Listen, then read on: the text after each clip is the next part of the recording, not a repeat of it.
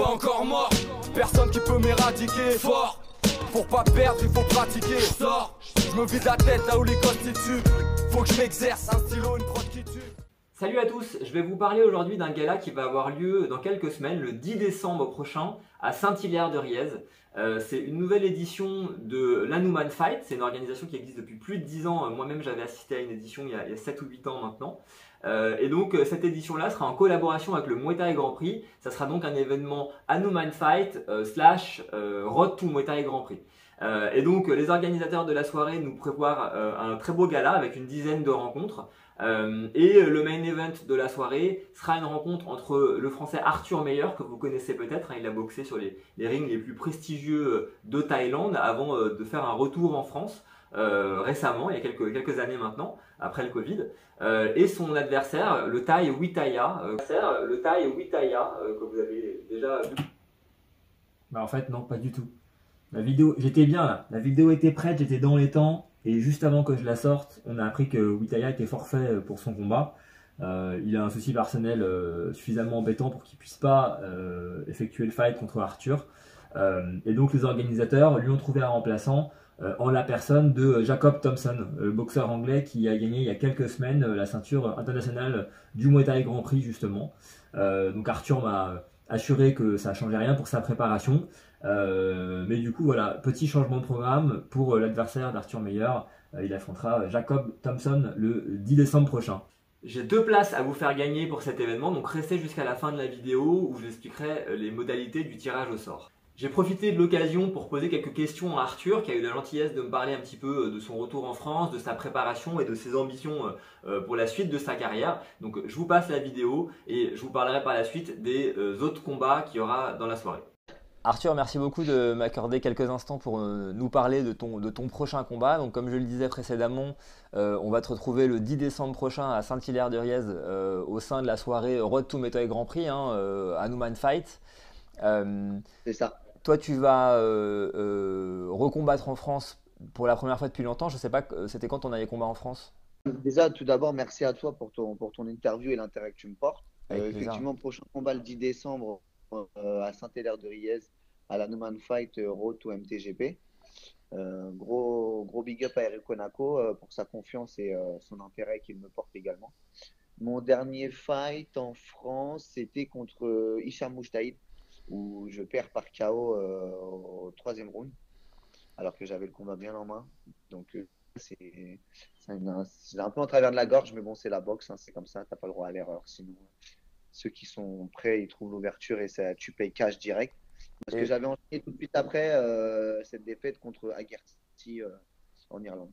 Et, Et- c'était au mois de novembre l'année dernière. Ok, ok, donc une, une- une longue période sans combattre. Donc, j'imagine que tu dois être impatient de retrouver, euh, retrouver les rings.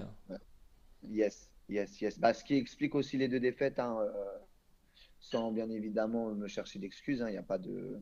Mais bon, j'avais une femme enceinte à la maison, rentrée de, rentrée de Thaïlande, démarrage de nouveaux business, euh, réacclimatation à la France. Changement de vie, quoi. Euh, le rythme, ouais, changement de vie, le rythme était compliqué, euh, accouchement, c'était tout, c'était un sacré, un sacré bazar, on va dire. Il y avait beaucoup de choses à, à gérer, donc c'est pour ça que j'ai fait une grosse pause euh, après la défaite contre, Agerty. J'ai voulu me centrer vraiment sur la famille et, euh, et gérer ce qu'il y avait à gérer, euh, ce qu'il y avait de plus important à gérer. Et, et du coup, Chose euh, que j'aurais dû faire euh, après mon fight à Abu Dhabi, en fait, où j'avais battu Mouchtaïd par KO. J'aurais dû arrêter directement là et me concentrer sur ma femme, sa grossesse, etc. J'ai voulu pousser, j'ai voulu, et voilà. Donc j'ai payé cash. C'est le sport de haut niveau, c'est comme ça, ça m'a servi de leçon. Donc, grosse pause et là retour, euh, retour après un an de, un an de tout pile d'arrêt. Et, et du coup, j'imagine que là, du coup, euh, enfin, euh, j'espère que tu es dans de bonnes conditions et que du coup, là, tu as, pu euh, me- mettre voilà, un, un gros, un gros entraînement en place et que tu es plus tranquille pour, pour pouvoir faire une, une grosse guerre, quoi. Yes, j'ai trouvé un rythme de vie beaucoup plus adapté. J'ai changé de club, j'ai changé de partenaire d'entraînement. Je m'entraîne avec des professionnels, beaucoup de sparring. Il y a beaucoup de choses qui ont évolué aussi dans la salle d'entraînement où j'en- où j'entraîne parce que je suis aussi entraîneur. Donc, euh, je suis bien. J'ai un bon rythme d'entraînement. Tu vois, j'ai couru 12 bornes ce matin. euh, ça, charbonne comme il faut. Et en fait, euh, j'ai surtout aussi compris qu'en France, tu pouvais pas faire comme en Thaïlande à t'entraîner trois semaines avant un combat à fond. Il faut s'entraîner tout le temps à fond, en fait. Il faut garder un rythme constant d'entraînement tout au long de l'année pour, euh, pour être, pour être toujours au niveau et pas prêt à mettre les bouchées doubles deux ou trois semaines avant le combat. En fait. Chose que je ne connaissais pas puisque quand je boxais en France, je faisais toujours des allers-retours. Tu vois, je restais trois mois, je revenais de Thaïlande, je revenais, je restais trois mois, je faisais deux trois combats. Donc en fait, je pouvais, euh, je pouvais ne, préparer euh, les combats un peu comme je faisais en Thaïlande, tu vois. Euh, mais sauf que là, c'est pas possible. Tu restes un an, deux ans, trois ans en France, il faut garder un, un rythme d'entraînement constant et soutenu. Donc voilà, c'est ce que j'ai mis en place, c'est ce que les deux dernières défaites m'ont appris et c'est ce que j'essaie de faire et j'espère que ça va payer. Tous les petits changements que j'ai amenés dans ma prépa, dans mon entourage de, mon entourage de, boxeurs, etc., d'entraîneurs. Donc euh, voilà. Ok, bah écoute, on, on, espère aussi, on est avec toi derrière, ce, derrière, ce, derrière toi pour ce combat. Et le truc, c'est que évidemment, tu as, euh, as, envie de bien faire, on l'a compris. Mais c'est aussi le cas de ton adversaire. Là, tu vas boxer Witaya et il est lui-même euh, sur une défaite. là. Au-delà de ça, au-delà de ce combat, c'est quoi ta trajectoire là? C'est quoi en gros concrètement ton avenir en tant que combattant professionnel en France? Tu as des idées déjà de ce que tu vas euh, donner comme tournure à ta carrière. Tu as parlé d'entraîner. Euh, est-ce que c'est un, sujet qui, qui, va revenir euh, pour toi un peu plus tard? Que, Comment ça va se passer en gros? Ouais, ouais. Bah, ça va pas revenir plus tard, hein. c'est actuel et ça va, ça va continuer comme ça. Ça va même s'intensifier puisque je vais passer plus d'heures à entraîner dans une salle de sport qui est à côté de chez moi. Donc je suis entraîneur dans cette salle. Bah, tu peux en parler, hein. c'est quoi la salle? C'est le LH Sport Club. Donc ça, euh, depuis que je suis rentré de France, en fait, il a fait appel à moi. Donc ça a été euh, développé, mais il y avait pas deux, créneaux par semaine. On va passer à quatre. Donc ça va s'intensifier un peu plus. Et au niveau de ma trajectoire, de ma carrière, écoute, euh, je, reviens doucement. Voilà, on, combat contre Witaya, c'est bien. Lui, il veut bien faire. Moi, je veux bien faire. J'espère que ça va engager, parce que ça va, ça va être engagé, parce que j'aime pas trop les combats faciles. Je préfère quand c'est dur. Donc voilà. Même si je pense être meilleur que lui, pas mal de niveaux. Voilà, faut pas trop, faut pas trop s'avancer non plus, faut rester humble. Donc euh, c'est ce que je fais, mais euh, voilà, j'ai. Donc voilà, au niveau de ma carrière, euh, revenir doucement, fight de, de, reprise. j'ai des projets pour février. J'essaye de trouver aussi des combats. Après un an d'arrêt, évidemment, c'est difficile. Les promoteurs te font peut-être moins confiance ou moins envie de faire appel à toi. Donc à moi de prouver sur les deux trois dates que j'ai réussi à trouver que je suis que le meilleur est de retour et que et que on peut me faire confiance euh, sur les gros plateaux et faire appel à moi. Super, ok. Bah, j'ai l'envie, l'envie de, de, de, de, monter sur le ring et de boxer. Voilà, 32 ans, il me reste encore, euh, il me reste encore de la place.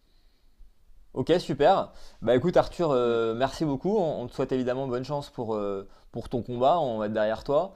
Et euh, merci, d'avoir pris du temps pour nous parler un petit peu de, de tout ça. Et on te dit rendez-vous au 10 décembre à Anumai Fight, Road to Metal Grand Prix. C'est ça, voilà. Merci à tous ceux qui soutiennent. Merci à la chaîne du Mouet. Merci à mes sponsors. Et merci à ma famille.